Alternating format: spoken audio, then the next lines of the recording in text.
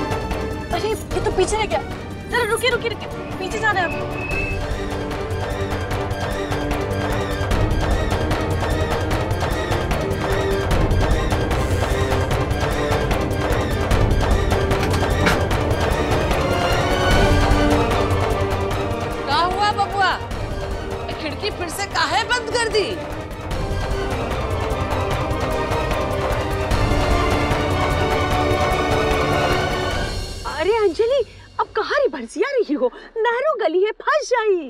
मामी पीछे ही तो हमारी समस्या का समाधान है। इस समाधान के चक्कर में तो हमारी समाधि बन जाई।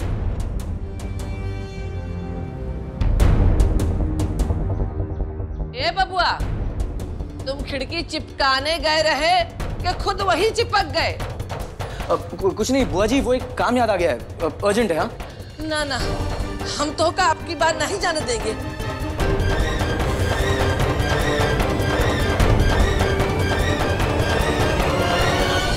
ऐसी हालत हालत में तो बिल्कुल भी नहीं। हाँ श्याम जी। आप रहते हो तो दिल को तसली मिलती है। ऐसा लगता है जैसे कोई तो है हमारे साथ इस मुश्किल घड़ी में।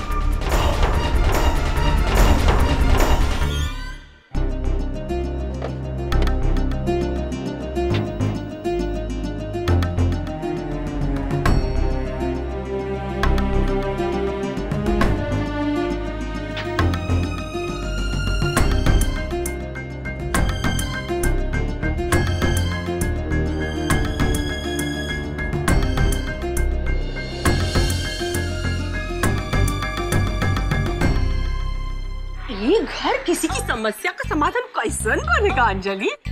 तो खुद ही समाधान की ज़रूरत है। किसका है ये कबाड़ खाना? खुशी जी का। खुशी? ओ फटी sari? No no no no no no नहीं भर। हम उका घर में एंट्री नहीं ले।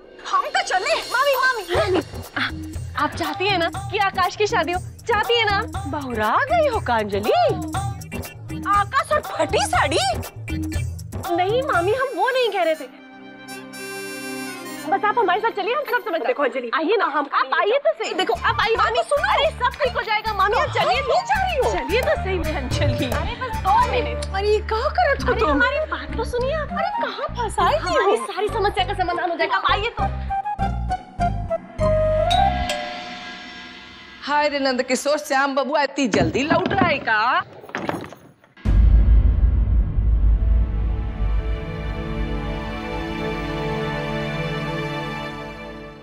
कौन हो नंद किशोर?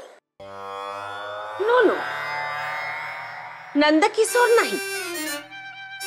राय ज़्यादा है। अच्छा आप ही है वो फटी साड़ी की मम्मी। खुशी की मम्मी? ए हम अम्मी टम्मी नहीं है। हम बुआ हैं। अरे तुम बुआ हो तो हम मामी है। अंजलि जी? मामी जी? बुआ जी ये अंजलि जी है।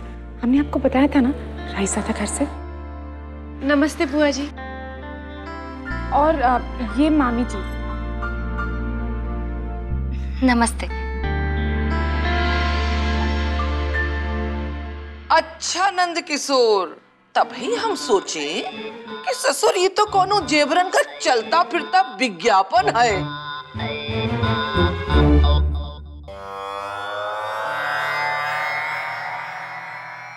हेलो हाय बाय बाय सब डोर से ही ईका का हम बासिंग पाउडर की सेल्स गर्ल्स लागत हैं।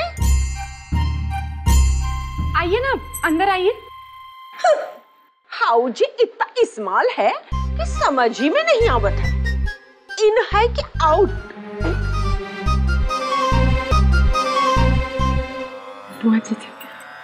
आइए ना। आइए। आइए ना मामी जी। चलिए ना।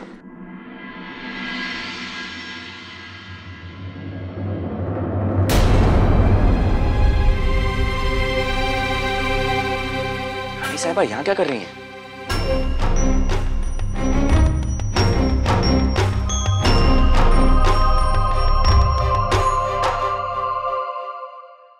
नो नो मिनरल वाटर तो होगा नहीं।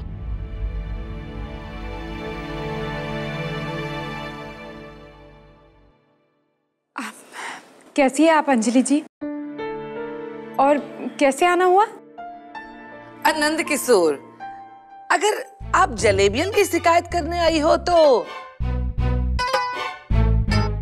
हम अपनी बिटिया की तरफ़ से माफ़ी मांगत हैं। कहा है कि इका जब गुस्सा आवत है ना तो ऐसे ही जलेबी बनावन लगत है। तो गुस्सा पे कंट्रोल करेगा पड़ी? कह दो अंजलि फटी साड़ी से? फटी? कौन की फटी साड़ी? कहा फटी? अरे ई है फटी साड़ी। चीटिंग में नंबर वन। पहले फटी साड़ी फिर खट्टी मिठाई। अभी हमरे घर का राशन यूज़ करके जलेबी बनाई हेलो हाय बाय बाय बस। बहुत हुआ नंद किशोर तुम्हारी शिकायत पट्टी बहुत सुन ली। ना हमारी साड़ी फटी है और ना हमारी मिठाई खट्टी है। और सुनो, हम यहाँ तंबू गाड़ के आयरी गैरी मामियन का ताना सुनने के लिए नहीं बैठे हैं। हाँ। बहुत लंबी ज़ुबान है इनकी। हमका लाइश बोलत रहे। लिहाज तो तुमको नहीं है। बढ़िया लिहाज सिखाएँगी हम। बोलत हो बुआ जी। अभी तो शुरू हुआ है मामी जी।